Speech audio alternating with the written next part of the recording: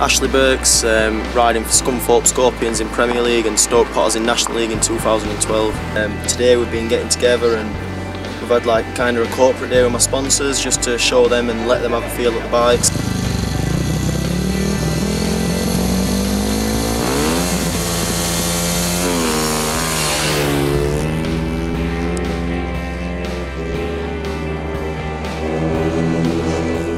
Kind of guys that have been up here today guys that have made Speedway happen for me. I wouldn't be stood here talking to this camera saying out where I've come in this Speedway and who I'm riding for this year if it weren't for these guys. It's all thanks to Wosskow Brown's PBHS, you know, and this big move that I've done this year to Scunthorpe, it was a big choice and it's gone really well. And yeah, we've all been here today and everyone's had a good day and come away safe, which is the main thing.